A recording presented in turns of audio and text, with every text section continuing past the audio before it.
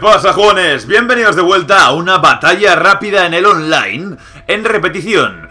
Esta vez jugué con Roma, contra mi amigo hereje que jugaba de Icenos. Le encantan los Icenos, y yo quería jugar con Roma después de mucho tiempo de no haberla utilizado, y de paso probar a los perros. Creo que tenía una idea más o menos aproximada de lo que podía hacer el enemigo, me esperaba unidades de proyectiles, así que dispuse los perros delante de las catapultas. Las catapultas debían de disparar al enemigo, causando bajas iniciales y haciendo que, bueno, quisiera, quisiera moverse, básicamente y los perros estarían allí aguardando para cuando llegaran sus unidades de proyectil y entonces ir a por ellas. Es la primera batalla en la que realmente utilizo perros a posta, o sea, no sé si alguna vez habré utilizado perros con alguna coña, pero esta es la única vez que digo, venga, vamos a ver qué tal son los perros. Voy a utilizarlos medianamente serio. Entonces me cogí, aquí como veis, cuatro unidades de perros, esperando que el enemigo se cogiera unidades de proyectil.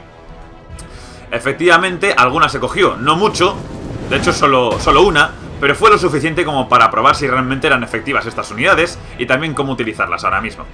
Los perros son, en este juego, en el Rome 2, la unidad más rápida cuando los sueltas. O sea, cuando los sueltas, al cargar van más rápido incluso que los propios caballos. Entonces ahí vemos ese ejército de balistas con esos perros. Bien, pues cuando se pongan a tiro, lanzaré a los perros y veréis cómo van a destrozar a esta unidad de honderos. Pero luego además van a seguir atacando y causando un poco el caos por esa zona. Entonces mi plan era el siguiente. Disparar con las balistas cómodamente, luego cuando se acercaran lanzar los perros y cuando se volvieran a acercar más, lanzar a las legiones. Las legiones son muy duras, lo que pasa es que los jugadores que juegan con Roma tienden a tener un fallo bastante evidente, es ser muy estáticos. Entonces, para ganar con Roma, con las legiones, hay que maniobrar mucho. De hecho, uno de los éxitos de Roma no fue solo eh, desde el punto de vista político las victorias, sino el hecho de la reforma de su ejército después de la batalla de Canae contra Cartago. Fue realmente el eh, idear toda una serie de combates por medio de destacamentos que eran mucho más maniobrables. O sea, los romanos perdieron contra Cartago porque tenían una, voy a decir una filosofía, unas tácticas muy ortopédicas. Entonces después de eso las mejoraron.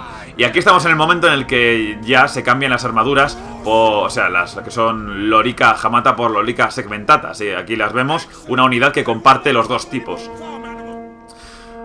Bueno, ya estoy disparando, destrozando al contrario y ya he lanzado a los perros que estaban ahí ya cargándose a los honderos, de hecho ya se los han cargado y lanzo al resto de los maestros de los perros también para que luchen un poco en el combate cuerpo a cuerpo contra esos bárbaros. No van a aguantar mucho, pero bueno, la verdad es que veréis que algunos duran hasta el final. Estamos en el parche 1.7 y me da la sensación, la sensación de que se ha arreglado un poco lo de los cuadrados negros pero ¿qué va, ¿eh? Del, del, todo ni de coña. O sea, aquí sigo viendo cositas. Entonces, aquí con su caballería intenta flanquearme también. Pero una cosa que descubrí en el Rome 2 es que los acorazados estos son perfectamente... Es perfectamente factible lanzarles contra caballería. Primero, con el ataque ya lanzan las jabalinas. Que destrozan unos cuantos. Pero luego además aguantan muy bien gracias a la pedazo de armadura que tienen. Entonces aquí comienzan los combates cuerpo a cuerpo, en los que intento estirar las unidades para que rodeen un poco al enemigo. Son unidades muy duras las mías, con lo cual son capaces de aguantar de frente. Así que si las estiro un poquito es lo suficiente para darle la vuelta. Ahí vemos a esos romanos aniquilando a esos icenos. Y aquí ya habiendo ganado contra estos caballeros, bueno, no ganado, pero habiéndoles expulsado de la zona, que están intentando llegar a por las catapultas. Algo que realmente me da igual porque las catapultas ya no pensaba volverlas a utilizar. De hecho, no me compré muchas unidades de catapultas porque realmente no quería basar la unidad, la, digo, la unidad, la batalla en una guerra de disparo con catapultas. O sea, realmente he utilizado las suficientes como para que, si no son efectivas, no me resulte un gasto excesivo. O sea, aquí la batalla realmente la han ganado los legionarios después de haber eh, sembrado el caos en el enemigo. Con los perros. De hecho, no sé si queda algún perro. Nada, bueno, el caso es que los icenos ya están medio derrotados. Vamos a ver esos ejércitos ahí marcados con las banderas. Ya me empiezan a sobrar las tropas. Por la izquierda, por la derecha. Y ya simplemente ir a hacer el bollo para luchar en el centro.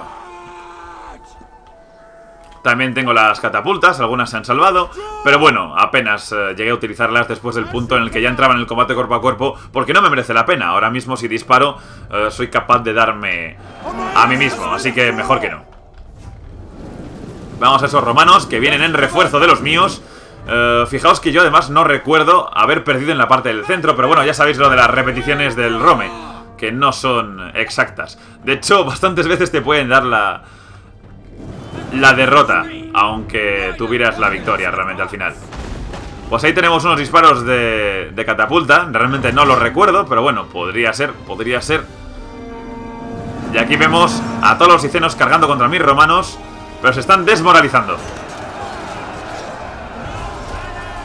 Ahí están, perdiendo las unidades, esto ya sí. Esto ya sí que sí. No recuerdo los disparos de las balistas, pero vale. Pues ahí tenemos una victoria costosa de parte de Roma. Eh, me gustó mucho ver cómo los perros si realmente servían para algo. El caso es que realmente eh, usar a los perros es bastante, bastante jodido. Porque son unas unidades que contra unos espadachines, medianamente en formación, pues pueden con ellos. Contra piqueros de frente, mueren automáticamente. Y si la caballería les carga, no tienen nada que hacer. Pero no sé, si uno mm, quiere ir a por unidades que son balistas o yo que sé, unidades más débiles, como arqueros, todo eso, pues está muy bien. Por ejemplo, o sea, básicamente para cazar esa primera línea, ¿no? Eh, que intenta ya mermarnos un poco. O sea, lo que son peltastas y jabalineros y todo ese tipo de rollo de cosas. Podría funcionar bien contra los belites, arqueros ligeros, en fin, ya os podéis hacer una idea. Eh, sin embargo, en el resto de combates eh, yo creo que están listos para morir porque no sirven para otra cosa más que para quizás reblandecer un poco al enemigo o bueno, quizás confundirlo un poco. Así que nada, hasta aquí tenéis este gameplay, esta victoria costosa en la nieve. Sabéis que me tenéis como MayorZ en Twitter y que también tenéis las páginas de MayorZ Gaming en Twenty y Facebook. Todo dicho, y hasta la próxima.